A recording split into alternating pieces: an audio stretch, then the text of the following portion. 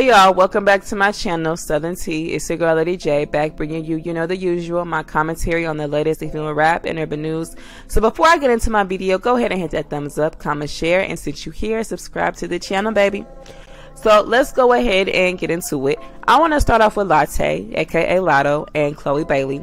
So Chloe released her single for the night the other night, featuring Latté, and it debuted at number 25 on the Billboard Bubbling Under. So congratulations or whatever to them.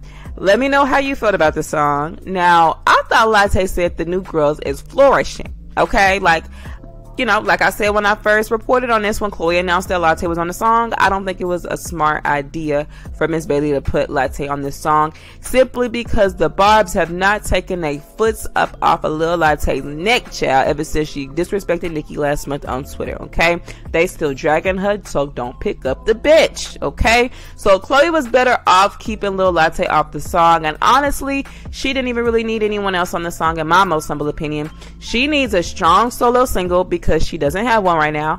I don't know why these R&B girls feel like they can't stand on their own solo. They stay trying to release a collaboration for a single, and it's usually always a collaboration with a rapper. And when they do, half the time, I just don't find it necessary. Like you were talented enough to ride your own wave and have your own solo song be successful. You just got to find it, okay? So I think it was a mistake for Chloe to put Latté on that song, but hopefully she gets radio play or something from her label.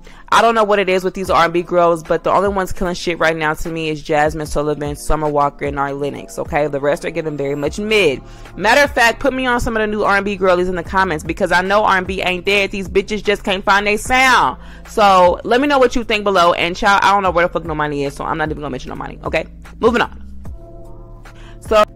So the next topic I want to get into is Hot Spice. So apparently people are finding out that Hot Spice um, signed to the label called 10K Projects, which is some um, unknown ass label, okay? It has artists like Trippie Redd and a whole bunch of other C and D listers, okay? So I checked their roster and I ain't heard of not one artist with the exception of Trippie Redd, and I ain't heard shit from him within the past year. So she allegedly signed for about three million. Now the streets is saying that you know that is a bigger signing deal than what Megan and Cardi initially signed for because remember Megan had to give like um, or she had got like a 10k advancement which you really got to give back so I don't really know too much about 10k projects but I do know that they are the uni um you know under the Universal umbrella. So Universal Music Group is the parent company of 20k projects, 10k projects, 5k projects, whatever they want to call themselves. Now, like I said, a lot of the artists are unknown or at least not mainstream. So I don't know what type of success Hot Spice will see with this label because none of their artists really seem to be getting pushed at all at the moment. But maybe because of her viral song and success, they might be, you know, willing to put some money in behind her, give her a push, and shove everybody else. So Hot Spice might might get a push since you know they put three million behind her, and time will tell if she's in a 360 deal or not. Now, I'm not really here for Hot Spice being one of the new mainstream rap girls. I think she's a cute girl with a nice body, and she seems like she would make a good influencer and maybe even do a reality TV or something like that. But I just don't think rapping is it for your girl, okay? You know, she might last a hot minute because she got a buzz now, but unless she, you know, just all of a sudden has a stupid, crazy fan base, I don't think she will have much longevity in this rap game because as we see with Latté, Saweetie, Megan, and even Cardi B, they were hot their first two or three years mainstream, and then them chart sales and numbers started looking funny. Okay, and I mentioned Cardi because she has yet to have a solo top ten hit in almost two years, but she swore last year on that record with Lizzo that her records live in the top ten, and she's been featured on four remixes alone this year and dropped a song with two of the most hottest rappers in the game that made literally no noise for too long. And you know, it's been a left the charts. It's been alone, gone. Nobody talking about that song. But let me know how you feel about Hot Spice making her own lane in the female rap game. So the next topic I'm gonna slide into is Latto, aka Latté. So Latté previewed her new song on Instagram the other day, and within hours, allegedly the Barbs had leaked this song. So the song was, I think, called like "Fuck the Club Up" or some bullshit like that. So I guess they said they're still dragging her, so don't pick the bitch up. Okay, so last week they leaked like over 40 of her songs, and the other uh, day they leaked, you know, this single. So I don't know if Latte is still going to release this single or what, but if she do, I mean, I'm sure it'll go double brick because we already heard it. Okay, we already heard half of your unreleased music, if not all of it. Latte is better off going back to the drawing board at with everything at this point, just scrapping all them songs that she had in the stash.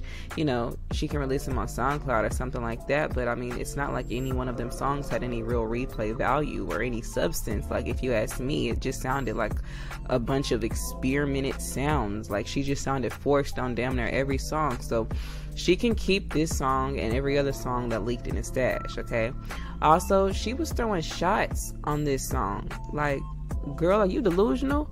She was throwing shots at Nicki Minaj like you already getting dragged daily by the barbs, and you think it's still smart to attempt to diss the queen when your bars, for one, are not even up to par with hers. For two, you don't have a big enough fan base as hers to support this song.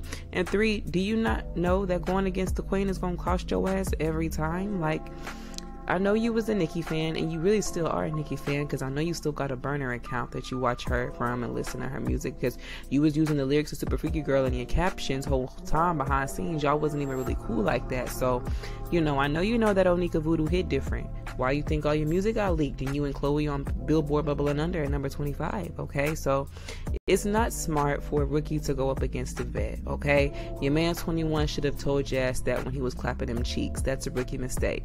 So what Latte needs to do, in my opinion, is to go back to the drawing board with some new writers, some new music, because all her unreleased music has been released by the Barbs, okay? And two, worry about not getting caught up in public with 21. We all know that's your nigga, even though he married with three kids to his wife, okay? So, you know, let you tell it and you just want to keep the internet out your business but want to put the internet in your business when it comes to issues you may have with Nicki Minaj okay? That's interesting to me. Now what I really found interesting is yesterday it was speculated that Cardi B is supposed to be on this song with Latte which the song already sounds trash. I don't know what Cardi B is supposed to be adding to this song. I guess she's supposed to help with chart placement, but Latte must not realize that Cardi does not currently have a solo single in the top 10, 20, 30, or 40, or anywhere on the Billboard charts for that matter, and she hasn't in almost two years. So you should have rode her wave back in like in 2020, like when Megan did, because if y'all paying attention, Cardi's hype has died down, okay, from what it was two years ago. And we really haven't heard any solo music from Cardi for almost two years. And let's keep it a buck. That's the real reason for her album delay. Cardi was supposed to been to came out with that album, y'all. Remember she said back in 2019 she was done with it? Okay, that was three years ago. So it makes you wonder what her and her team are really waiting on, or should I say, who they waiting on. Okay, so let me know if you check in for this song and what you think of this song and how you think it'll do. Like I said, Latte was throwing shots, talking about security and protecting you or some shit, and then you got Cardi on the song, so it's kind of alluding to the Harper Bazaar kind of thing. And baby, you ain't touching nobody. Okay, so I don't think the song is gonna be big or huge or like a WAP moment because for one, the beat and Latte's voice and cadence over the beat is just it's not given in any way for me. And while while we on a subject, can somebody tell me why Cardi is hopping on every song except for her own? Okay, let's get into it because first it was the Shake It remix, the No Love remix, the Tomorrow 2 remix, and then basically dropped her Munch remix on Instagram, and now she want to jump on a song with Latte. Okay, so it's given Mad Hoes link up. Okay, since you couldn't get that Nicki feature, you decided to make sure you called up Nicki's rival and ran your ass to Belcalis because we know you sent Mother three songs and she declined all them hoes. Okay, after hearing all them songs by Latte that got leaked on Twitter, I see exactly why Nicki Minaj declined those features. Okay, all tea, all shade. I don't know why Cardi would want you know to be someone's alternate option either, but you know, it's all about fake female unity, apparently. So Nicki can look like the bad guy, the bitch, the bully. Because last time I checked, Latte was just up at Megan Thee Stallion's Halloween party, all the kikiing up in her fucking face and spilling tea and shaking ass on each other. Meanwhile, Latte posted Drake and 21's album and said she was in support of the album, even after Megan just went off on Drake for the lyrics on one of the songs that was about her. And as her so-called friend, industry friend, whatever, you cool with the bitch, you was a kiki in her face at her party. How are you in support for something that upsets your friend? But it's all about fake parties and fake agendas and shit like that. Okay, Nicki Ben told us. Anyway, let me know your thoughts on that below. next topic I want to get into is Glorilla going gold with her song Tomorrow 2 featuring Cardi. So congrats to Glow. This is her first gold single and of course it was her first top 10. So this is a big moment, special moment for Glorilla. Now her EP is dropping tonight and she teased um a preview of a song from the EP. I think it's called Nut Quick.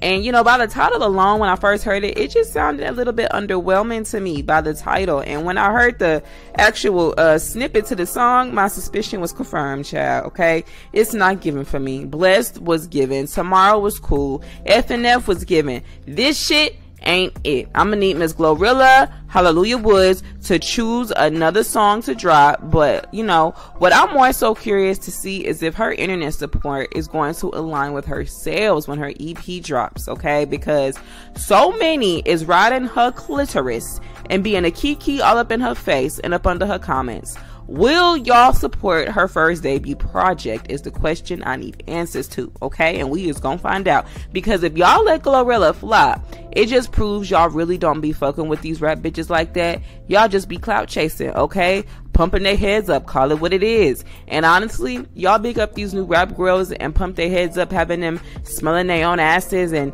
get to thinking they popping shit and then drop a single or album and it goes brick, okay? Y'all did it with Coi, with Latto, and Megan and y'all can say, oh, first week numbers on everything. Shit, okay? Maybe not to you, but they sure as hell can tell you a whole lot about an artist or in their fan base, okay? Not many people was waiting on you to drop, sis. That's what them numbers can tell you, okay?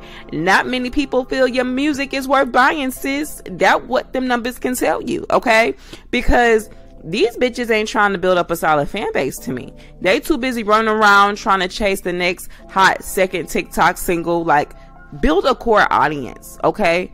They doing these surprise drops and same week drops as if they have a solid fan base and they don't. Okay. So let me know your thoughts on that below and let me know if you are here for Glorilla's new project and will you be supporting. Now next I want to get into Bia. So Bia was on Instagram live and you know her fans were asking her some questions and one question in particular has to do with if she felt like rap has become more sensitive and this is what Bia said.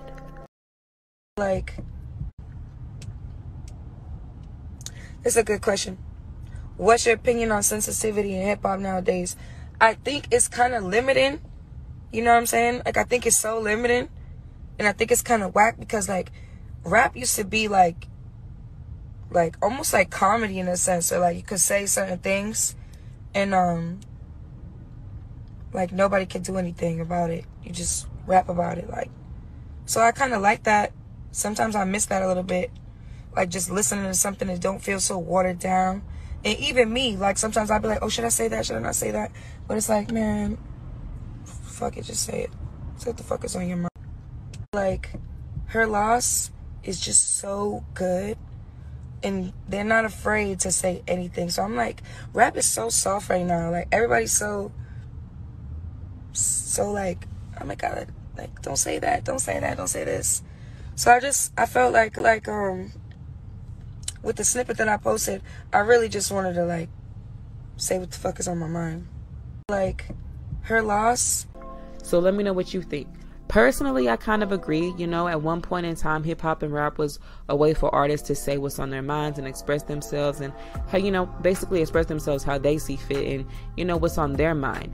And now things in hip hop is just, you know, it's way too political. Everyone is easily offended, and rap is no longer being treated like a sport where there would be, you know, a natural competition. It's more like a political pool at this point. and I'm really kind of over it, and I agree with Bia.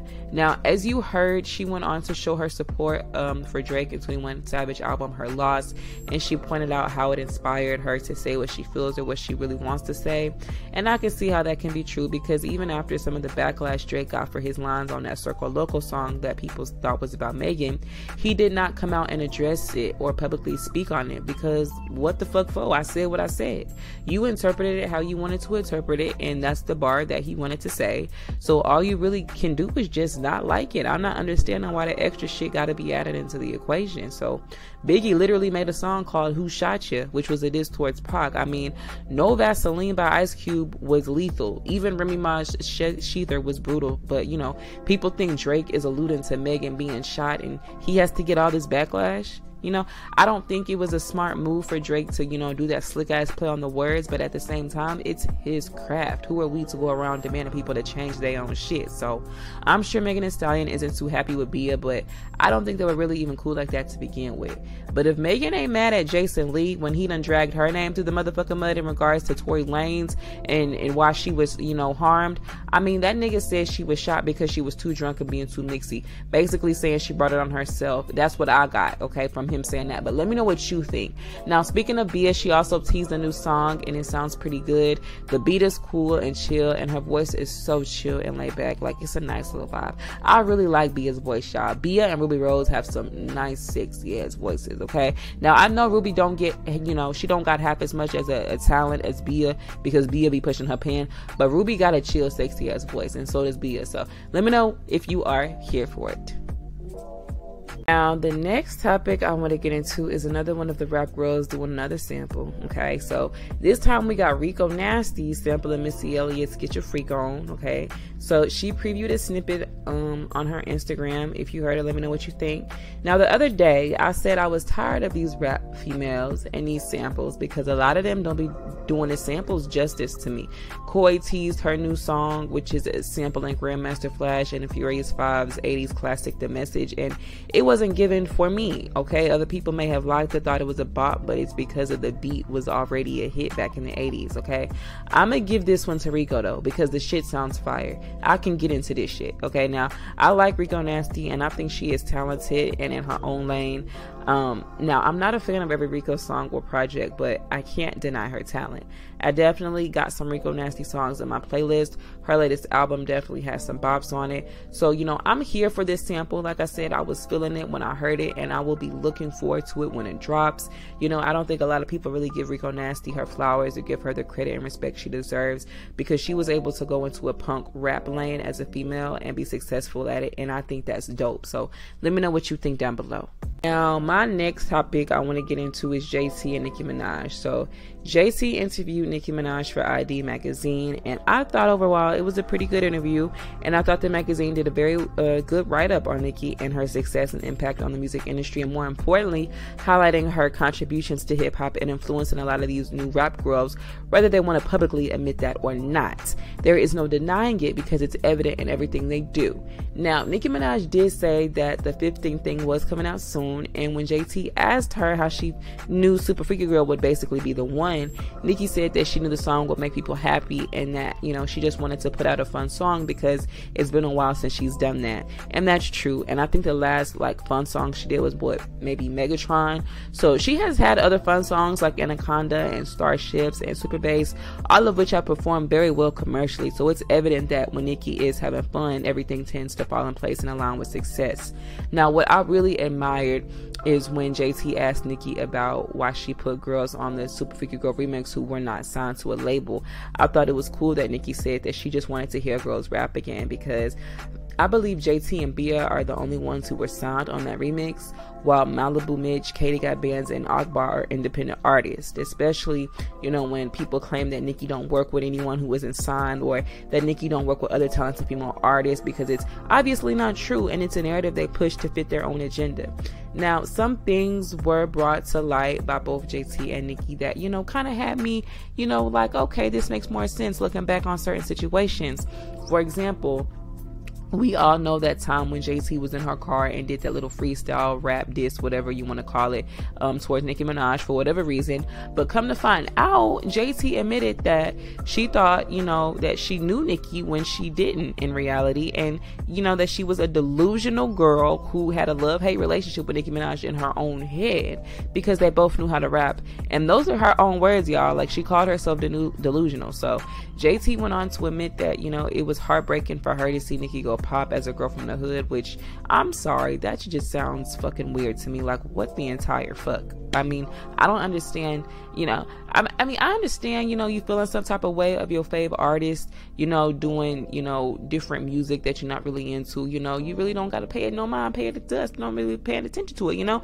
Fans don't always like everything their favorite artist does. However, to be upset, like real life upset, to where you have a love hate relationship because an artist is elevating or crossing over, it gives delusional vibes, babe, because it's not that serious. So she was right to call herself delusional. After JT said this, you know, I was kind of side eyeing her a bit because if you once had those feelings before, who's to say you can't feel those feelings again? Okay, because Nicki really hasn't been deep in her pop bag since 2012, 2013. So what if she does have a few pop songs, um, a few pop songs on the next 15 thing? Okay, would you go back to those old feelings and begin your delusional love hate relationship with her in your head all over again? Like, now, Nicki did give her flowers to Wayne, Jay, and Foxy because, you know, as a Barb, those are her musical inspirations as well as Lauryn Hill. And I also liked how Nicki said she basically isn't scared to speak up for herself because she is at the point in her career, you know, where she feels like her fans aren't going anywhere. And I think that is absolutely true. Nicki Minaj literally has one of the, if not the hardest and most supportive fan base of the music industry and definitely the largest out of all the female rap girls. So even, you know, and even if the industry, you know, was attempting to blackball her, she could still thrive because her fans are still buying and streaming her music. Now, Nicki also said that she is considering a press on nail company, which I think will actually be a pretty lucrative industry. It's an industry that's on the rise, especially in the event of a glam or nail emergency where cute ass press ons can literally get the job done and save the day. Because I just experienced a situation like that the other day from Walmart. Child and press on nails saved my life. But not for real, I think, you know, it's smart. And I also think this is different because, you know, all the girls want to sell hair, do makeup, lashes, or clothes. And it's kind of saturated. So I think it's different. And I think her nail line would be very successful to the point of being the nail version of Kylie Cosmetics or even Fenty. Because, like I said, I don't know any female music artists in this industry as it pertains to the nails, like doing press on nails. But like I said, overall, it was a dope interview. And Nicki looked amazing in her photo shoot she did with ID magazine. So you guys can let me know your thoughts on the interview below and let me know what you thought of JT calling herself delusional and claiming to have had a love-hate relationship with Nicki because she went pop. Is you know speaking of ID magazine, my last topic I want to get into is Coi Leray. So Coi, um, she also had a little ID magazine interview. So, when she was asked what it's like being a female artist in the industry, she said it's important that everyone come together and stay together and bring peace because she said it's a lot of beef going on right now. Mm. And she also said that, you know, female artists or rappers need to come together and stop the re, the re raw raw raw whatever the fuck that is.